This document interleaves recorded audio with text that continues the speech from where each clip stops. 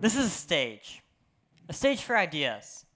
My idea is dramatic pause. The idea that food is art. Not the art of putting food on a plate, but the art of flavor. First, a little backstory. People always ask me what kind of chef I am. Now, I'm not a southern chef. I'm not an Italian chef. I'm not an Asian chef. Even at the beginning of my journey, I reluctantly took the title of chef, as chef is an earned title, and I was just a kid. Now, I like to think of myself as a flavorist. Let me show you why. I make menus, which boils down to dishes, which boils down to bites.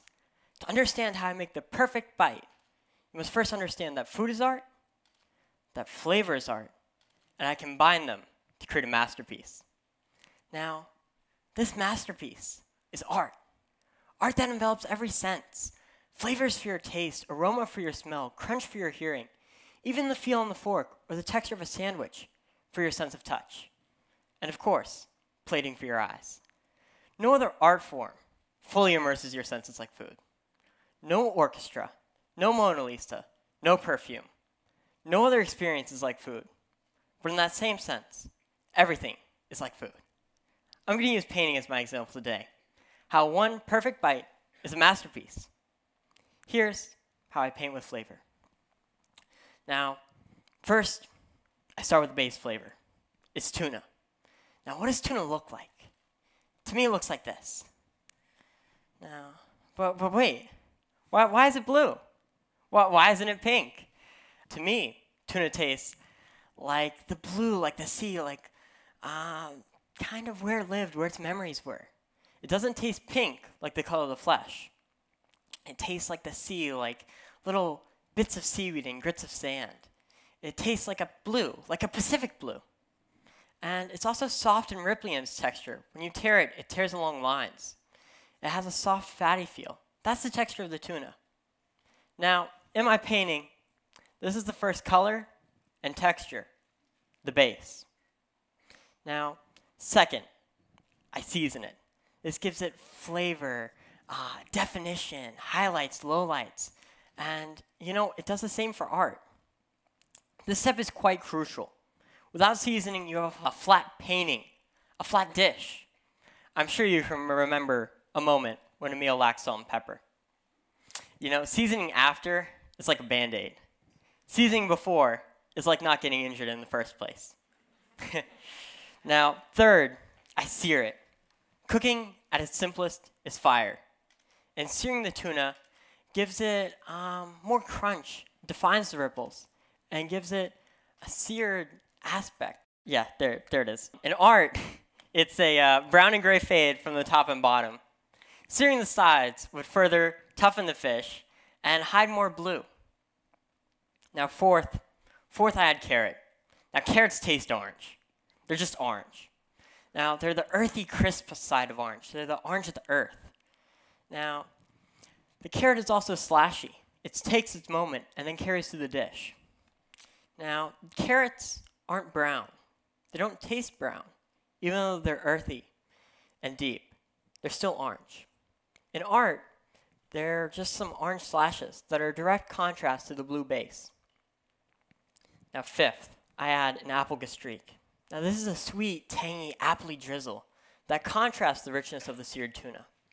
Now, it has a fruity tanginess that a lot of other ingredients will tie back into with both contrast and similarity. Now, for the painting, it is this drizzle of a warm golden color. You know, it just, it's just beautiful. Sixth, add a dot of hot sauce. Now, this opens up the flower of flavors I've already made, and it causes them to blossom into their full potential. Now, it may be just a red dot, but you know, you can really see the spice in the way it's thrown onto the canvas. Next, I add my Napa cabbage. Now, Napa cabbage is just like the carrot. It isn't pretending to be something it's not. It's just this curly, fluffy green. It's kind of crispy. And, you know, it's a color that every dish needs to be appetizing. You have to have green. And uh, in art, you know, it's just kind of a curly green, you know. Next, I had a game changer. Almost like a mercenary. A pre-developed, deep flavor. I had sesame oil. Now, sesame oil is just incredible. It makes the tuna richer, it makes the carrot earthier, it changes every flavor in the dish. I mean, it is just magical in the depth it gives to everything else. Now, the only way to illustrate this in art is with a sepia, or in this case, a black outline, since it does so much to the flavor profile that no other element could justly interpret its intricacy and intensity.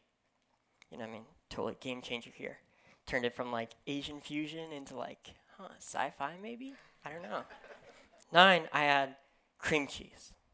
Now this is totally different from the entire theme so far. Uh, it has this creaminess, this pilliness, and it's completely opposite, you know? I don't have anything creamy on there. Now, you might ask me, how's the tang addressed? Well, the gastrique is tangy, so how's the cream cheese also tangy? I mean, don't you get too much tang? Well, it just kind of loses it. It only gives an airiness and a creamy mouthfeel, nothing else. Now, in art, it's this kind of cloud and slight haze.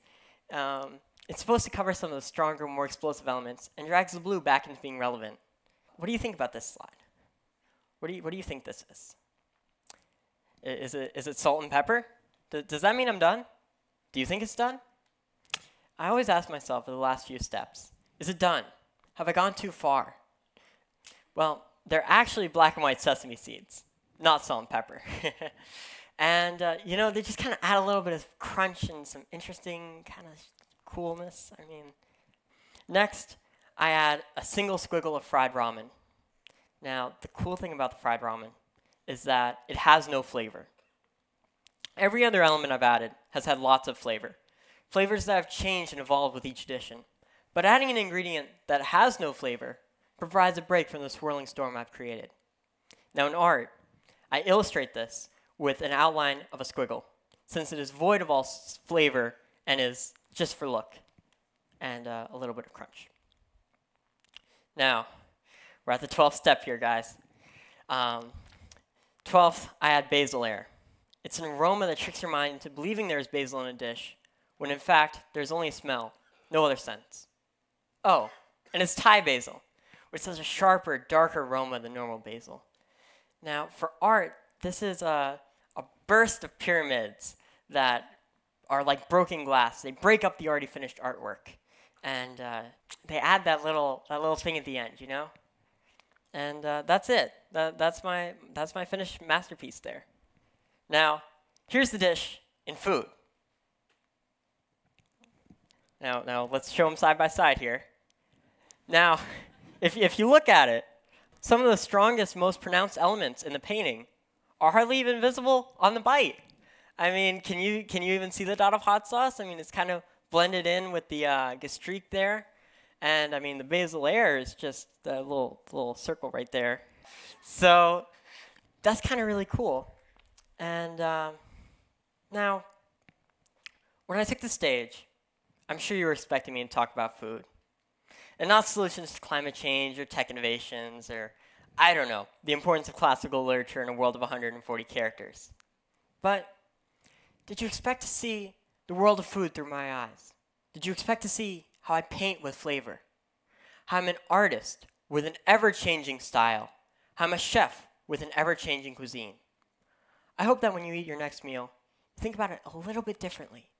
That you question a dish not on ingredients or words, but on the painting it portrays. Bon appetit. Thank you.